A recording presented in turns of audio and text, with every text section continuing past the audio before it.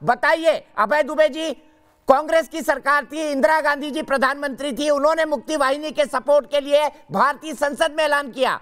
Europe से लेकर America तक गई। उनकी दृढ़ इच्छा शक्ति थी, क्योंकि आप लोग अपने घर में अपनी माँ बहनों का बलात्कार कर रहे थे, क्योंकि वो बंगाली बोलते थे और आप उनको नीचा समझते थे। क्या ये सच नहीं है अभय दुबे?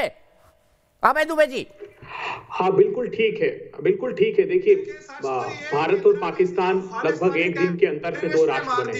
लगभग उनतीस वर्षों तक तो पाकिस्तान में संविधान था। ही नहीं। ये लगातार सेना के दबाव में अपने संविधान को सस्पेंड करते रहे और अराजकता का माहौल जो तब था आज भी वो मौजूद है। इतिहास साक्षी है कि भारत अमेरिका तक के जब तो अमेरिका उस समय महाशक्ति हुआ करता था और देश इस बात का गवाह है कि जून के महीने में 1971 में अमेरिका के सिक्योरिटी एडवाइजर हिंदुस्तान आए, तब भी इंदिरा गांधी जी ने उन्हें चेतावनी भरे स्वरों में कहा कि अगर पाकिस्तान इन हरकतों से बाज नहीं आएगा तो हमें मजबूरन एक्शन लेना पड़ेगा। तब उन्होंने कहा क्या एक्शन द मानिक शाह वहाँ मौजूद थे कांग्रेस का इंदिरा जी ने उनकी तरफ़ इशारा करके कहा कि हम एक्शन के लिए मजबूर होंगे। तभी संकेत दे दिए गए थे। पाकिस्तान चीन की शरण में भी गया। दूसरे चीन से कहा पाकिस्तान ने कि आप हमें हमें क्या उपलब्ध कराइए। मगर पाकिस्तान ये चाहता था कि वो सीधे कमर जी बाजी अपनी आवाज़ ठीक करिए आपकी आवाज़ नहीं आ रही। ऊपर से आप चिल्ला रहे हैं। स्काइप पे चिल्लाते तो पता नहीं क्या होता है। अबे दुबे जी कंक्लूड करिए। जी तो दृढ़ता से हिंदुस्तान ने पाकिस्तान को सबक सिखाया।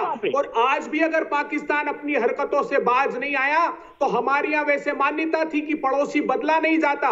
मगर भारत ने अपना पड़ोस बदल के बता दिया और बांग्लादेश का निर्माण किया। पाकिस्तान को आगाह करना चाहते हैं। आज भी अपने से और ड्रोन से इंटरनेशनल बॉर्डर पर वो ड्रग सप्लाई कर रहा है, वो टेररिस्ट के लिए वेपन्स ड्रॉप कर रहा है। पाकिस्तान बाज नहीं आया तो फिर उसको तैयार रहना चाहिए, फिर से टुकड़े टुकड़े होने के लिए। ये सिर्फ़ भारत का प्रश्न नहीं है।